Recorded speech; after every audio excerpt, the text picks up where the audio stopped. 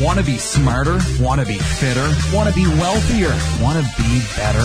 This is Infinite Transcendence, where life mastery meets humor and sarcasm with a blunt approach. This is the place where we talk about mastering your life without the usual feel good aspect. This is the podcast designed for people who want useful tips and information while being entertained. So sit back and enjoy the program. Hello, hello, hello again, and welcome to Infinite Transcendence. This is part three, taken to the next level. This is the these are gonna take up more space, but these are gonna be some very powerful tools you can look in. So you might, for this area, if you want to get these tools, you're probably gonna need a little more space. You might have to have like a separate room for this, but it's a room. It's not a gym. It's not a huge room, but it will probably take another room. Now that's what I have currently. I have an extra room that I use for working out, and it's a room. It's just a room in a basement, but it's just one small area where I put these tools.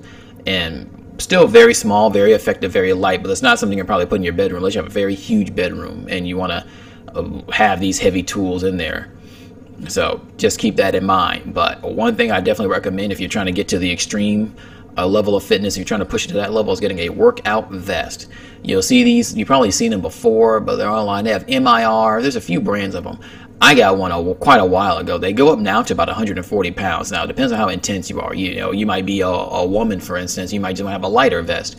For maybe you, maybe you're a woman who does a lot of cardio and you just want to add a little bit of weight for your cardio. You probably just want to go 10, 15 pounds. That's going to be plenty. And if you're into really heavy stuff, you might want to go to 80, 90, 100 or so pounds. Now, when I got mine, a quite a, it was quite a while ago. It was only up to 80 pounds at the time, but I used dumbbells along with it to give me extra weight. But they now go up to 140. See, for me, I, I wouldn't bother buying a new one. I think mine's cost 300 bucks at the time, and then one 40 pound ones cost another 300 bucks or 400 bucks, whatever they cost but I just take dumbbells and work out with the dumbbells. But just get the just get the vest if you want it. It's great. You can add resistance to any exercise. You can also use it for things like brushing your teeth. Put on a hundred pound vest if you're into severe. If you're extremely into fitness, take a hundred pound vest. You can brush your teeth. You can cook your food. You can simply walk up and down the stairs, push ups, set ups. Everything you do is going to be magnified and intensified because you're basically walking around as a heavier person. Once you take it off, you're going to feel a lot a lot stronger and quicker. Now, I would recommend you start um, work your way up to that weight. And for most people, it's just to work your way up little by little till you get comfortable. And you're gonna have to put the way it works is you get a vest. They come with little cylinder blocks, like little. Mine came with blocks. Now some of them come with sandbags, and you just put them in each slot, and you increase the weight. Like these are two, three pound increments, and you increase the weight until you get your desired weight. So you can buy a 140 pound vest and use it up to 75 pounds, and maybe you increase it little by little. It is going to be extremely heavy. I will tell you, if you're looking at pushing uh, 80, 90, 100, 140 pounds, you're gonna have to be really strong to put that vest on. Really, really strong. I probably say about 99.9% of people aren't gonna be able to pick it up because I know when I had it, you occasionally get some guys who always want to pick it up and look cool and stuff, and none of them could ever pick it up except for a handful of people.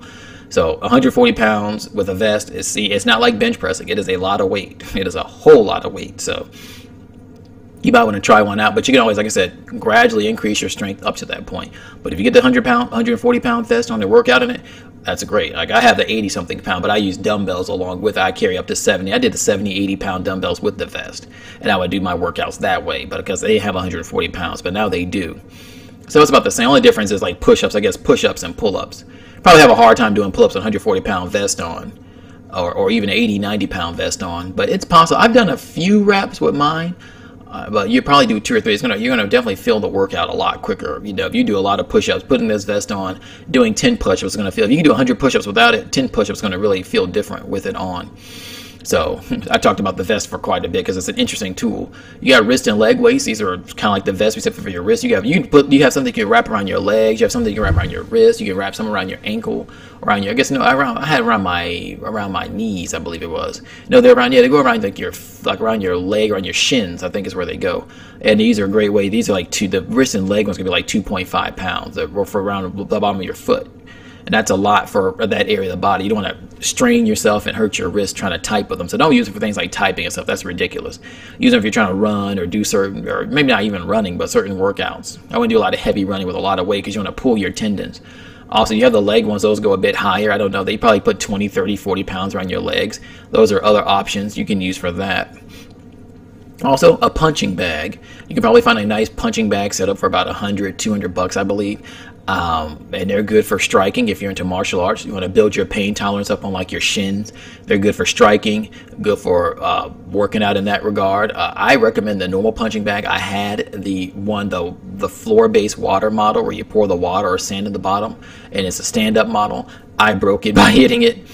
It was a 300 pound bag too, and it was gone. So unfortunately, that didn't work. I probably recommend you get the traditional bag and just have a mount. I have one of those with the speed and coordination bag on the side definitely a good tool to use. Now that punching bag is where you're going to really start taking up space. So if you don't, if you take, if you took the punching bag out of everything I recommended, you can probably get your workout done in a lot less space. The punching bag is where you're going to start taking up a lot of space, or the the weight bag, or punching bag, or a striking bag. Also, the floor. Use the floor. Use the wall. You can do in push-ups alongside the wall. There's a ton of workouts you can do just simply on the floor or with the mat or again on a stability ball, but the floor is great. You can use the stairs, run up and down the stairs with the vest, run up and down the stairs 10 times, take the vest, do it. Uh, do it with the wrist and leg weights. Lots of ways you can get a lot of effective workouts just on your set of stairs. These are all low cost, low space requirement items that you can get an extremely effective workout. You can get a top notch, super effective workout on. You do not have to have, you do not need a fancy gym or all that stuff. You can do it at home in your peace. And for me, I like my peace and quiet. I get up early. I get up at early in the morning, four or five in the morning. I can work out, cook breakfast, and I'm ready to go. I have to drive out, go somewhere, come back home. I to worry about leaving things or dropping things, or I'm gonna, you know, do. I'll have all that interference. I can just get my workout done the way I want at home. You know, in my boxer shorts if I want, and since it's becoming summertime, and I can just get it done there. So it can be done definitely get into doing it and use these tools to increase your game. If there's anything else you know, definitely try it out. But there's definitely ways to work out and save a lot of space. So let me know what do you think? Do you do this already? What are you using? Do you use a punching bag? Have you used a workout vest? Is there something that I forgot? Is there something that I should mention in the future? Definitely let me know. Um, like, subscribe, and as always, transcend infinitely. Want more? Be sure to like, subscribe, and comment the video and subscribe to the podcast. Want even more? Check out the written article version and subscribe to the Infinite Transcendence website at infinitetranscendence.com for new and interesting quality content. Join now and receive a special gift. Also like our Facebook at Infinite Transcendence and follow us on Twitter at Transcendent Updates. Keep watching and listening. See you next time and transcend infinitely.